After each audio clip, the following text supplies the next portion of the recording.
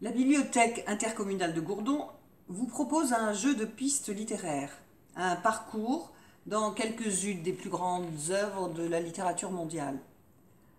Des grands textes qui réconfortent, qui vont nous aider à tenir ce temps de confinement. Alors, voilà la proposition. On vous lit les premières pages d'un grand livre de la littérature mondiale et à vous ensuite de jouer. On vous donnera trois indices et avec ces trois indices, vous pourrez vous lancer sur la piste.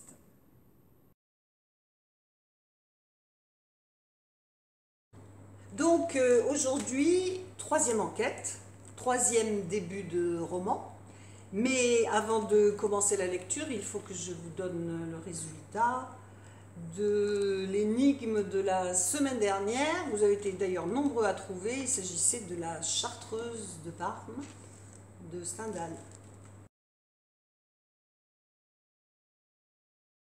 Donc cette semaine, je vous propose un livre d'un auteur contemporain. Pas exactement contemporain, pas le 21e siècle, le 20e siècle. C'est pas très éloigné encore.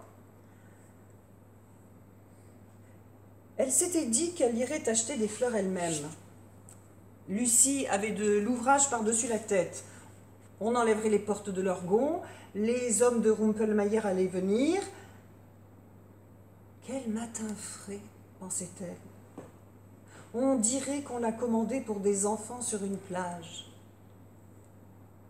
Comme on se grise, comme on plonge, c'était ainsi jadis à Borton, lorsque, avec un petit grincement de gond qui lui semblait encore entendre, elle ouvrait toutes grandes les portes-fenêtres et se plongeait dans le plein air. Il était frais, calme, et plus tranquille encore que celui-ci, l'air de Borton au premier matin. Le battement d'une vague, le baiser d'une vague pure, vif et, et même, elle n'avait alors que 18 ans, solennelle. Debout, devant la fenêtre ouverte, elle sentait que quelque chose de merveilleux allait venir. Elle regardait les fleurs, les arbres où la fumée jouait, et les corneilles s'élevant puis retombant. Elle restait là, elle regardait. Et soudain la voix de Peter Walsh Rêverie parmi les légumes? Est-ce bien cela qu'il disait? Ou J'aime mieux les gens que les choux-fleurs Était-ce bien cela? Il devait l'avoir dit au déjeuner un matin qu'elle était sur la terrasse, Peter Walsh. Il allait revenir de l'Inde un de ces jours en juin ou en juillet. Elle ne savait plus car ses lettres étaient bien ennuyeuses. Mais mais ses mots, on s'en souvenait. Ses yeux, son couteau de poche, son sourire, ses grogneries, et lorsque tant d'images s'étaient évanouies. Quelle drôle de chose. Quelques mots comme cela à propos de choux. Elle se redressa un peu au bord du trottoir, laissa passer le camion de Dirtnall.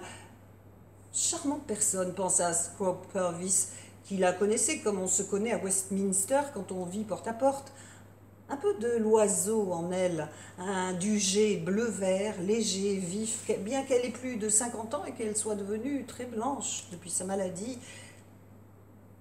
Elle se tenait perchée, ne le vit pas, attendait pour traverser très droite.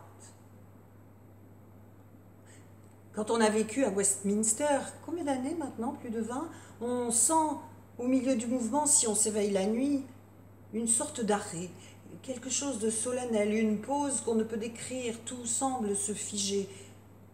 C'était son cœur peut-être, disait-on, son cœur troublé par la grippe. Avant que Bing Ben sonne, ah, il commence. D'abord un avertissement musical, puis l'heure irrévocable les cercles de plomb se dissolvent dans l'air. Quels fous nous sommes, pensait-elle en tournant dans Victoria Street. Qui sait pourquoi nous l'aimons ainsi, pourquoi nous la voyons ainsi, pourquoi nous l'élevons autour de nous, la construisons, la détruisons et la recréons à chaque minute, les plus tristes mégères, les plus misérables débris assis au seuil des portes, l'ivrognerie les a perdus, font comme nous. Aucune loi ne pourra les mater, j'en suis sûre, mais pourquoi? Parce qu'ils aiment la vie. Dans les yeux des hommes, dans leurs pas, leur piétinement, leur tumulte, dans le fracas, dans le vacarme, voiture, auto, omnibus, camion, homme sandwich, traînant et oscillant, orchestre, orgue de barbarie, dans le triomphe et dans le tintement et dans le chant étrange d'un aéroplane au-dessus de sa tête, il y avait ce qu'elle aimait, la vie, Londres, ce moment de juin. Car c'était le milieu de juin, La guerre était finie, sauf pour certains. Mrs. Foxcroft, qui hier à l'ambassade se rongeait de chagrin parce que ce joli garçon avait été tué et que maintenant le vieux Manor House passerait à un cousin. Lady Bexborough, qui, disait-on, avait ouvert une vente de charité en tenant à la main un télégramme, John, son préféré, tué. C'était fini, Dieu merci, fini. Et voilà le mois de juin, le roi et la reine étaient au palais, et pourtant, bien qu'il fût encore très tôt, il y avait un bruit sourd de poneys galopant, des claquements de crosses et de criquets, Lord Ascot, Ranlag et tous les autres, voilés par le doux réseau gris-bleu de l'air matinal qui plus tard se dissiperait laisserait voir sur les pelouses et sur les pistes les poneys bondissants qui frappent à peine le sol de leurs pieds de devant et s'élancent, les ardents jeunes gens et les jeunes filles rieuses aux transparentes mousselines qui ce matin même, après avoir dansé toute la nuit, promenaient leurs ridicules chiens en poils de laine. Déjà, de discrètes douairières partaient dans leur voiture pour des courses mystérieuses, les marchands s'agitaient dans leurs vitrines avec leurs pierres fausses et leurs diamants et ces charmantes vieilles broches vert de mer aux montures XVIIIe siècle qui tentent les Américains. Mais il faut économiser et ne pas faire pour Elisabeth trop de folles dépenses. Et elle aussi, qui aimait ces choses, d'une absurde et fidèle passion qui, qui en faisait partie, puisque sa famille avait figuré à la course sous les Georges, elle allait ce soir même se mettre en frais et illuminer, elle allait donner sa soirée. Mais quelle chose étrange, en entrant dans le parc, que ce silence, cette brume, ce bourdonnement, les canards heureux qui nageaient lentement, les oiseaux pensus qui se dandinaient, et qui vient donc euh, là-bas, du côté des ministères, justement avec un portefeuille aux armes royales C'est Hug Whitbread, son vieil ami Hug, l'admirable. Comment va? Clarissa s'écria Hug en exagérant un peu, il s'était connu tout enfant. Où allez-vous ainsi? Bah, J'adore marcher dans Londres, c'est beaucoup plus agréable qu'à la campagne.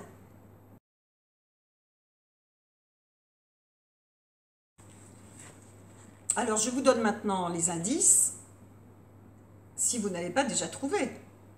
Qui c'est? Alors, l'auteur d'abord, euh, alors elle, elle, appartient au milieu qu'elle décrit dans, ses livres, souvent des mondains, des aristocrates, euh, qui paraissent un peu futiles, mais sous la futilité, il y a souvent un grand, comment dire, désarroi. Euh, c'est une auteure qui a été perçue comme une auteure d'avant-garde, à l'époque où elle écrivait, où elle publiait. Pour moi, c'est un des génies de la littérature du XXe siècle. Euh, et c'est également, et ça n'est pas la moindre des choses, c'est une très grande féministe. Ensuite, deuxième indice, le titre. Alors le titre, c'est très simple, c'est le nom du personnage principal. Voilà. Le troisième indice euh, sur les personnages, donc des êtres décrits dans leur apparence mondaine, mais comment dire, dont l'auteur montre l'abîme qui sépare cette image brillante extérieure de leur vie intérieure. Je vais juste ajouter une citation, voilà comment elle parlait de son travail d'écrivain.